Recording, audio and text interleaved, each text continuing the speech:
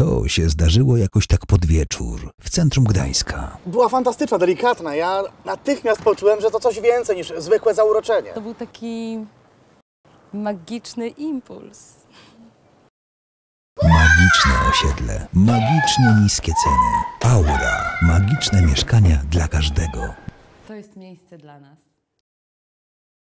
Gdańsk, Wyspa Spichrzów, ulica Toruńska 15.